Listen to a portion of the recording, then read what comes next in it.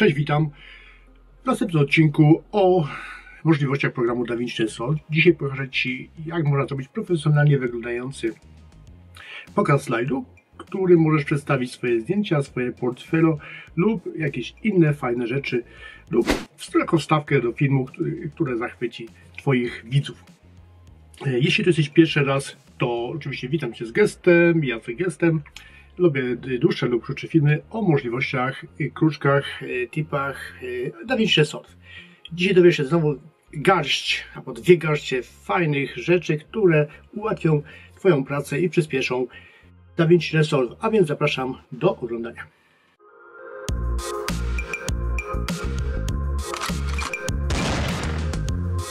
Witam, jesteśmy już w naszym DaVinci Resolve i zaczynamy przygodę z, nową, z, nowymi, z nowymi możliwościami a mianowicie z profesjonalnym pokazem slajdu.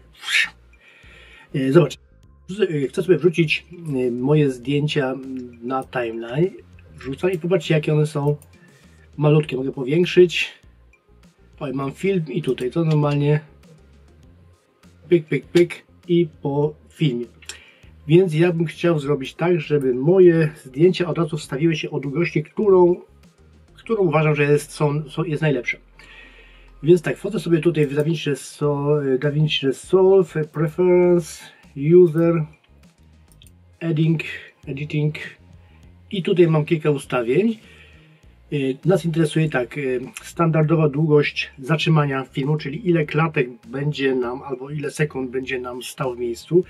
Ja bym chciał, żeby było to 5 sekund, tu mam pisane 5 pach. Tutaj druga pozycja standard, standard transition duration to jest y, długość przejścia między, między jednym klipem a drugim. Jak wrzucę tam przejście, to ono będzie już o takiej długości. Ja bym sobie tutaj wpisał, myślę, że 8 albo 6, 6 klatek. Tu mam sekundy, tu mam klatki. Tu sobie wpisałem sekundy, bo 5 sekund mi jest łatwiej. Bo tak musiałem sobie mnożyć 30 razy 5. No ciężko, ale da się policzyć tutaj akurat yy, w klatki. No i to w sumie tyle. Czyli jak wrzucę teraz moje, no wrzucę sobie cztery zdjęcia, to dobrze, one, one mają już 5 sekund. One już mają 5 sekund, więc yy, kolejne zdjęcia mogę modyfikować, skracać lub wydłużać, natomiast standardowo będę miał już ustawione tak jak chciałem. I oczywiście tutaj mogę sobie też wstawić film, Film ustawię też mniej więcej na 5 sekund, tutaj sobie utnę. Bo można w ten sposób y, pokazywać zdjęcia, jak również filmy. Tu sobie wyłączę y, ten y, muzykę. Jeśli tutaj kliknę, to nam pokaże całość time, timeline. Czyli tutaj jak klikam. Dobra. I teraz tak, chcę sobie zrobić, trochę rozszerzę. Wyłączę Media Pool z altem rozszerzam i zobacz, y, tutaj chcę sobie zrobić y, y, klipy pod spodem i klipy na wierzchu, więc muszę skopiować sobie do góry. Robię to w ten sposób, że zaznaczam całą, y, wszystkie klipy, przy, przytrzymuję alt na klawiaturze i pyk do góry i mam skopiowane. Wyłączam widoczność w warstwie górnej, bo chcę sobie dół chcę sobie rozmyć. Klikam pierwszą klatkę, wchodzę w efekt, efekt OpenFX i tu mam takie rozmycia różne. Jeśli masz płatną wersję, to możesz sobie spróbować ten. Ja robię w darmowej wersji, więc nie mam. Wezmę sobie tutaj Radial Blue. Możesz sobie oczywiście wypróbować też inne. No to mi się akurat podoba. Tutaj oczywiście mogę sobie wejść inspektor efekt i sobie tutaj albo bardziej rozmyć, albo mniej rozmyć. Mogę sobie to zanimować, żeby mi się tam ruszało, ale jak chcę mieć stałe, myślę, że takie rozmycie wystarczy. I teraz załóżmy, że mam tych klipów więcej. Y, tu sobie wyłączę, żeby mieć lepszą widoczność. Y, chcę sobie skopiować do wszystkich to rozmycie. Oczywiście mogę sobie wziąć po kolei i sobie przenosić, ale ja chcę to zrobić, zrobić szybko, bo po to jest ten tutorial. Klikam sobie prawym klawiszem myszy biorę sobie kopiuj, klikam jeszcze, zaznaczam wszystkie klipy, do których chcę wstawić y, to rozmycie klikam prawym klawiszem myszy, tu mam zaznaczone na czerwono wszystko i tutaj wstaw z atrybutami lub Alt V. Klikam. Y, prawdopodobnie masz to wyłączone, czyli masz tak jak teraz. Jeśli chcesz stawić winne, zaznaczasz tutaj lub wybierasz, które chcesz z tych efektów. Ja daję wszystkie dla ułatwienia. Daję Apple i zobacz, teraz we wszystkich mam rozmycie. Nawet w filmie mam rozmycie. Tadam! Dobrze, teraz włączam górną, górną klatkę i teraz tutaj y, poznamy bardzo fajne, użyteczne przejście, y, gotowy komponent DaVinci Resolve, które nam ułatwi życie. Wchodzę w efekt, wchodzę tutaj efekt i, i tu mam taki div. Klikam go i zobacz, od razu mam okienko. Od razu mam okienko i teraz mogę sobie go powiększyć, go jakoś wykorzystać. Wchodzę tutaj w efekt i zobacz, mam tutaj gotowe profile już. Gdybym chciał mieć okienko w którymś miejscu y, filmu czy ekranu, mogę sobie tylko poprzełączać. O i proszę bardzo. E, ja jednak zrobię tak, że y, wezmę sobie to, przeniosę na środek i powiększę na środku. Tak było w intro. Puch. O ile było intro. Daję na środek i tu suwaczkiem sobie powiększam. No może tak. Wyśrodkowuję, jeszcze sobie troszkę powiększę. Tutaj mam większy, większą możliwość. Dobrze. E, co tu jeszcze mogę zrobić? Metadane wyłączę. E, mogę sobie zmienić color border. E, załóżmy, że tu mam albo dobiorę sobie kolor ramki do nieba, albo do tej zieleni. Myślę, że może zobaczymy, może do, do tych kamieni sobie dołożę, czyli sobie tutaj, wybieram sobie żółty kolor tak od razu i teraz sobie będę dopasowywał do trochę zielonego, trochę żółtego, trochę czerwonego. O, jakoś tak. Myślę, że jest nieźle. Y, mogę jeszcze sobie kąt, y, kąt rogów y, tutaj zaokrąglić. Mam taki border. Uch. Oczywiście mam wysokość, mogę sobie zwiększać. Tu można sobie potem jakby w, w, w swoim już pokazie zrobić to bardziej takie, no bardziej takie ciekawe. My się ograniczymy to tylko do możliwości. I co jeszcze tutaj? No oczywiście cień możemy sobie tam porobić, więc tutaj nas to nie interesuje. I mam już to wszystko. I teraz jeszcze chcę sobie przenieść ten efekt do następnych yy, slajdów i robię to dokładnie w ten sposób co poprzednio, czyli klikam prawym klawiszem myszy kopiuj, yy, zaznaczam klipy, do których chcę przenieść yy, nasz efekt, prawym klawiszem wstaw z atrybutami, tu mam zaznaczone wszystkie atrybuty, Pach. I zobacz, w każdym mam już taki sobie, taką sobie ramkę. I zobacz, teraz y, mogę to sobie zanimować. Wchodzę tutaj w rotation i zobacz, mogę sobie tutaj przechylać. Już mogę sobie to animować teoretycznie. Wracam tymi kropkami do pozycji wyjściowej, jeśli jesteś nowy w DaVinci Resolve. Tylko tu jest pewien problem. Zobacz, nie można tego nie, nie zapamiętuję klatek kluczowych. Zaznaczam klatkę kluczową. No nie, mam zaznaczoną, zobacz. Odchylam. Idę na koniec. Wracam do, do pozycji wyjściowej i zobacz. Nic się nie dzieje. Ale to się nic nie dzieje, że się nic nie dzieje, bo to nawet dobrze, bo będziemy mieć większą możliwość. Dlatego, że te efekty są, nie wiem czy to jest wina programu, czy, czy tak producenci oprogramowania sobie wymyślili. Zobacz, tu są efekty Fusion Effect, więc one są specjalnie do, do obróbki Fusion. I zobacz tutaj. Tutaj mam taką ikonkę, ona nam przypomina tą ikonkę, zobacz. I to jest Fusion. Jeśli wejdę w Fusion normalnie, pach, no to mam tylko media out i media, media in, in. No, nic się nie dzieje. Ale jeśli wejdę przez tą ikonkę tutaj w in, inspektor. Pach.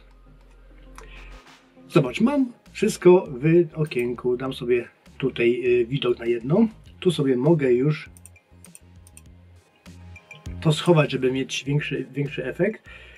I zobacz, mamy Media Out, mamy Div i mamy Media Out. Jeśli kliknę dwa razy Media Div się nam pokaże i zobacz, tu mamy dostęp do wszystkiego. Mamy dostęp do Rectangle, Merge, Div, e, Channel Board, Drop Shadow.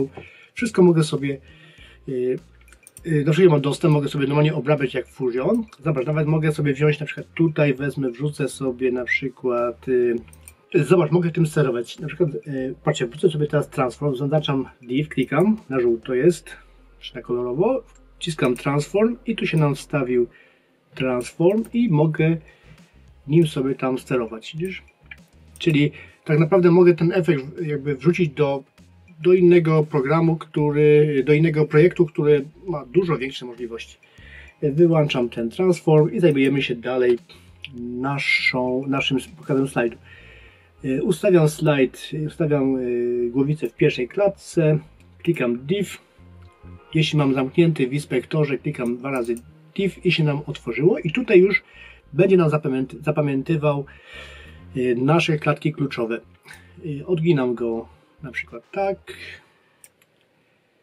Y, zaznaczam diamencik, wchodzę w ostatnią klatkę, klikam diamencik, mogę ręcznie wrócić, ale mogę też kliknąć tą kropeczkę i ona nam pozwoli wrócić do pozycji wyjściowej. Patrzymy czy działa.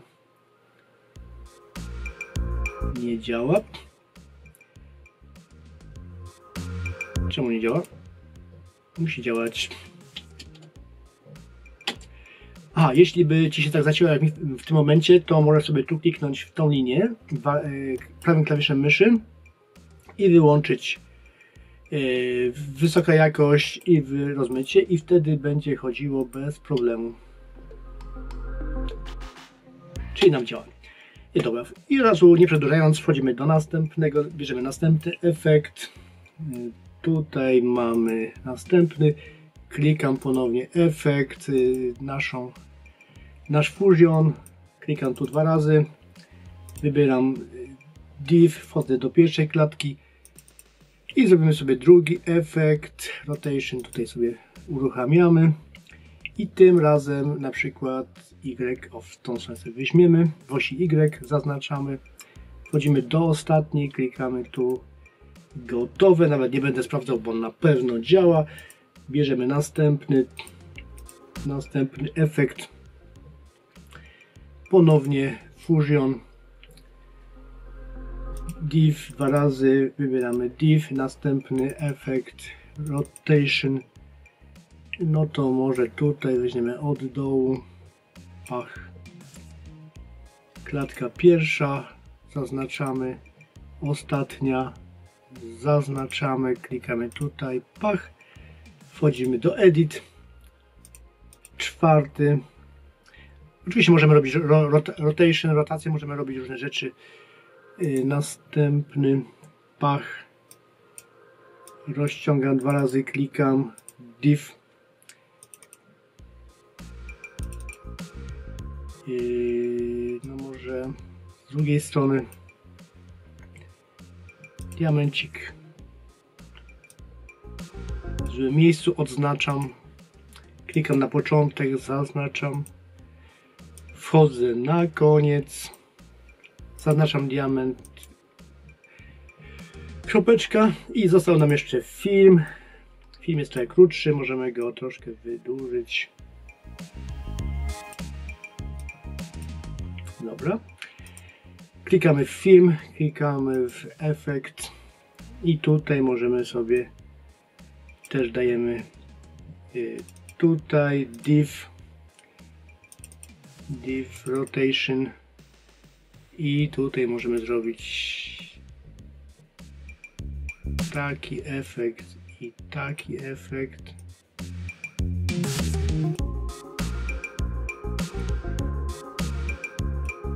Tutaj sobie troszkę przesunę. Pach, pach, pach. Tu jest mi bardziej skomplikowany. I może w dół jeszcze. Dobra, wchodzimy do ostatniej klatki i zaznaczamy, zaznaczamy, tutaj sobie cofniemy, klatka.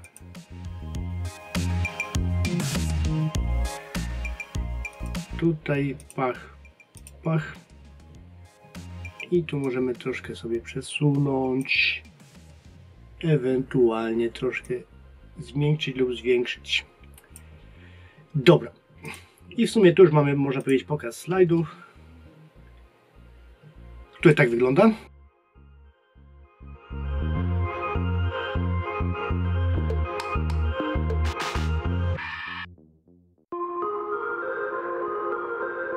E, super to wyszło rewelacyjnie ma to już smak, ma to już pewien wdzięk. E, oczywiście tutaj możemy jeszcze dodać muzykę, będzie miało jeszcze lepszy efekt i tak dalej, i tak dalej, ale tu oczywiście możemy zrobić przejścia. Jeśli do tej pory Ci się podobało, to oczywiście rozważ zasubskrybowanie tego kanału, bo może coś Cię ważnego ominąć. Jedziemy dalej. Teraz dołożymy takie przejścia tutaj, które będą wyglądały rewelacyjnie. Zaraz zobaczysz.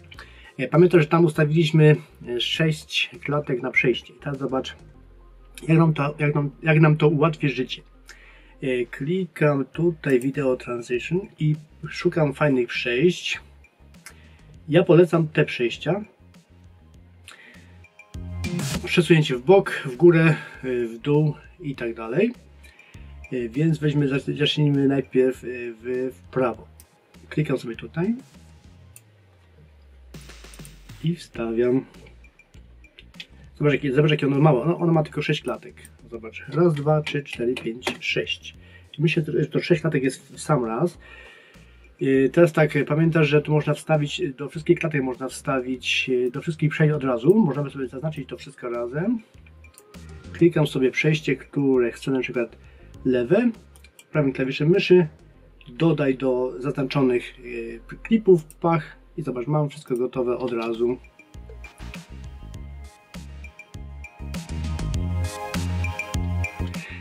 Oczywiście bardzo fajnie to działa.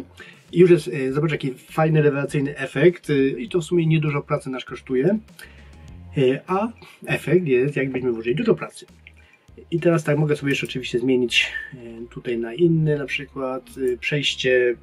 Biorę sobie backspace, kasuję, mogę sobie dać w górę. Co tam jeszcze mogę? To jest taki, tutaj o tego co może zmienimy w dół. No to co, dodamy teraz do tego muzyczkę. Oczywiście standardową, tutaj z moich plików pach. Tu sobie odetnę. Ctrl B. Ctrl B ucinam. Bez space odcinam. Y, biorę sobie tutaj głośność.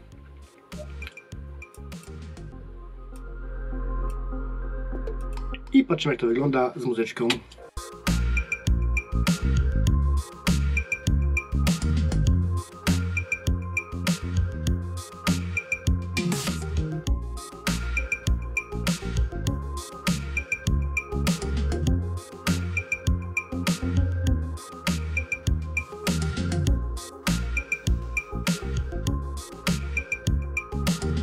Sumie rewelacyjnie krótko i na temat. Efekt jest y, naprawdę dosyć, y, dosyć nawet bardzo fajny. Można go użyć z powodzeniem.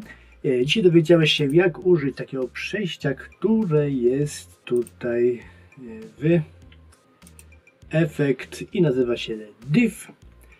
Dowiedziałeś się, jak zanimować, jak dołożyć efekt do większości, do większej ilości slajdów, jak rzucić slajdy o, czy filmy o takiej samej długości.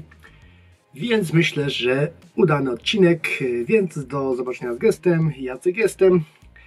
No i elegancko nam wyszło, udało się wszystko na zicher. Zobacz jak w kilku kliknięciach naprawdę możemy stworzyć fajne, profesjonalne wideo, pokaz slajdu, który możemy pokazać e, efekt naszej pracy lub czym się zajmujemy i tak dalej, i tak dalej. W tym odcinku dowiedziałeś się, jak, jak użyć takiego wbudowanego przejścia div, który jest Fusion Effect i możemy go potem sobie spokojnie edytować w zakładce Fusion. Możemy go potem dodać do większego projektu. Nauczyłeś się, jak można z jednego, ustawiając parametry, atrybuty jednego y, slajdu czy filmu, możemy przenieść je, y, te parametry na inny film. Y, dowiedziałeś się, jak włożyć zdjęcia o tej samej wielkości, przez to zakład preference, adding i tak dalej, tu ustawiając. O tych parametrach, jakie będą dalej, to się pogadamy kiedy indziej. Także myślę, że bardzo udany poradnik, szybki, i do zobaczenia z gestem. Jacek jestem. Oczywiście zasubskrybuj kanał, y, żeby nie ominąć innych fajnych odcinków. No, hej!